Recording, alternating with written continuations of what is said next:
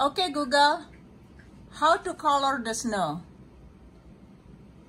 On the website thespruce.com, they say, hot and even warm water could melt the snow too much. Add a few drops of food coloring to each so you have one bottle of red, one of blue, and one of yellow water. Be sure the bottles have enough coloring in them to make the colors visible once they are sprayed on the snow. Thank you. Do you, do you remember what Google said? Mm -hmm. About how to color the snow? Mm -hmm. You're too busy eating. This is delicious. All right, well. Tastes good. Tastes good. Okay. All right, let me let me get the color ready for you, okay? Green, my favorite color. I think we have green. Green?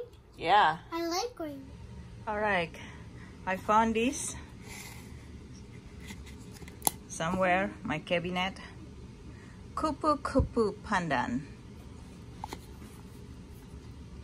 All right, I found one food color.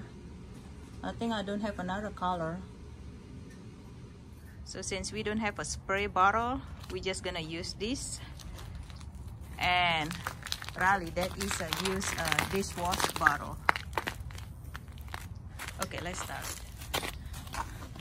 Not done it before, so let's see if this is work, okay? You dumping? No, no. I'm gonna paint it like this. What should I do?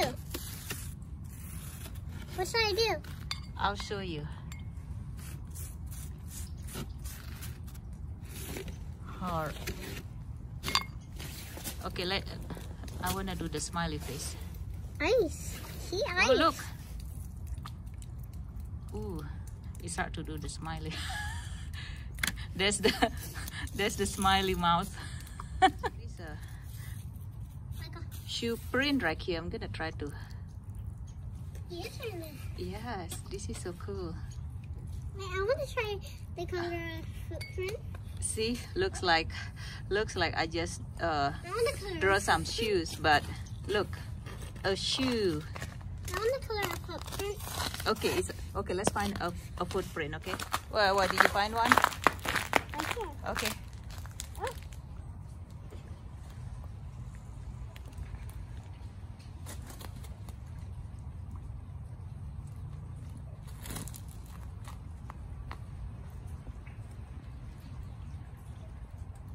Good job. Okay.